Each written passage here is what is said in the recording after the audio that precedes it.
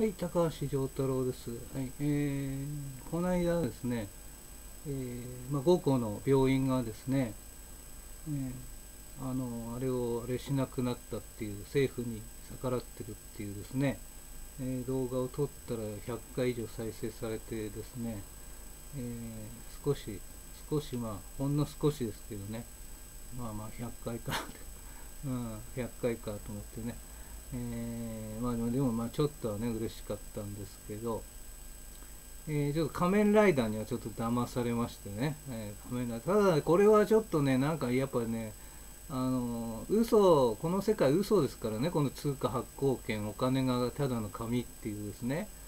お金がただの紙でひどくなってもデジタル数字でいうこれ嘘ですからね。架空のものですからね。本当になんか中国デジタルしかないですわけですよね、うん、わかんないですけど。ほとんどそうなわけですよね、うん、100%かどうかわからないですけどね、え、そうしたらもう架空のものなんですよね。お金って存在しないんですよね、うん、これももう何本も何本も何本も何本も取ってきましたけども、えーえー、まあ私ごときのね、えー、話なんてね誰も聞かないですからね。うん。言ってくれよっていうことでですね、うん、誰かね力のある人ね、えーえー、まあ言ってんのかもしれないですけどね、うん、ということでですね、えー、何でしたっけ？えー、そうそうそうそのマッチポンプかっていうねマッチポンプの可能性も考えたんですよね。その5個の病院のね。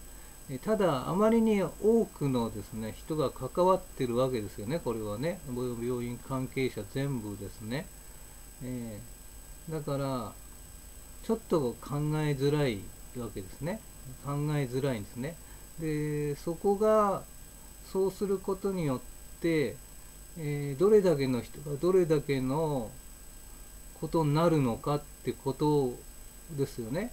えつまり、あのテレビを信じきってる人はテレビを信じきってる人がいますよね。うんえー、それからこの前回はですね、まあ、口と鼻にあれをしてる人間は全て敵だっていうことでね、えー、まあこれはもう別にずっと長いこと録音してますんで、うん、口と鼻にあれをしてる人間は全て敵なんですよ。イルミナティディープステート悪魔なんですよ。あれしてる人はどんな綺麗な顔して、えー、どんな優しそうなことを、うん、方でもね、うん、だってもともとがですね標本がないわけですからね、うん、ないわけですからね。私なんかもう全然したことないしね、うん、何にも関係ないですよね。余計健康になってる 余計ね、うん、食べ物も変わってありましたしね。ほとんど納豆しか食べてないからですね、うん。たまにですねカップラーメン1個ぐらい食べるぐらいでですね、うん、やっぱ、うん、まああんまり美味しくないですね、うん、やっぱり、うん。普通のご飯と納豆が一番いいですよね。それはまあ大昔からねもう何十、うん、30歳ぐらいの時から思ってるのかな、うん。えー、結構ね、うん、20年前以上前30年前以上前からね思ってますんでね、えーまあ、それとね野草野草の話がね、えー滑り、滑りヒューっていう野草があるらしいですね。あと、この間録音したね、えー、なんだっけ、何でしたっけ、忘れちゃいました。忘れちゃった。これだけ聞いてんのに、うん、私、自分が、あの、取ってこれないので、うん、どこにあんのかわかんないし、その、うん、わかんないからね、どうやって食べればいいのかもわかんないから、えー、まあ、今のところやってないんですけどね野草だけ食べてればなんか生きてられるっていううん、いう感じなんですよね。えー、まあそれだけじゃ無理ですけどね。うん、でもまあ最悪はですね、えー、あれですね。あと、なんです松茸に釘とか昨日出てたんですけどね、それもね、いっぱい出てくるんですけども、あとアイスクリームになんとかってね、うん。えー、それはあのツイッターに載ってますんで、はい。えそれからそれでですねそうそうそう。だから戻るんですけどテレビを完全に100%信じてる人もそこの5個の病院に行くわけですよね。そうすると行くと思うんですよ。行くと思うんですよ。今まで行ってた人はですね。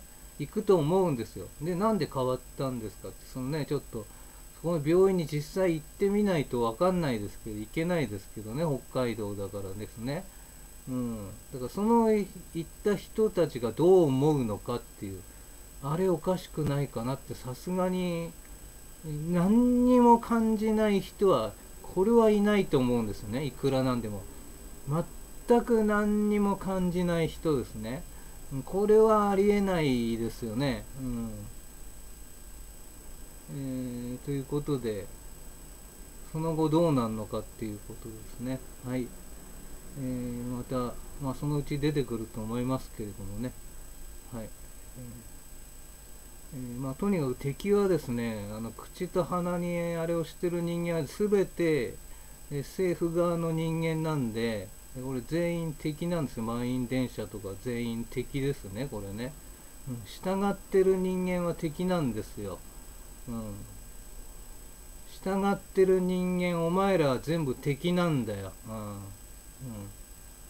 うん、ね。だから戦いなんですよこれね。本当にね。うん。いや私そういうつもりはないとかね。そんなの通用しないんです。行動しちゃってんだからね。うん。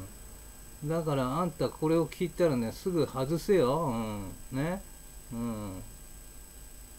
だからいやいや開き直っては私は政府側の人間ですって言ってはそれでいいけどね。うん。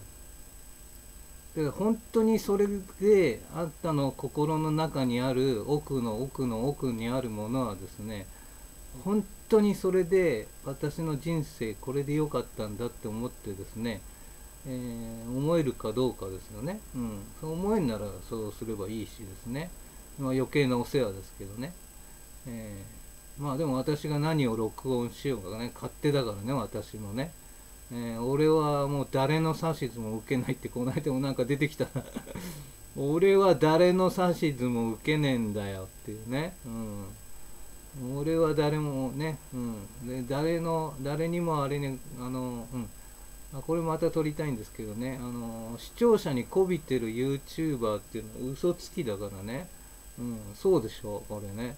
視聴者にこびてる YouTuber は嘘つきですね。これもう一本撮りますね。はい。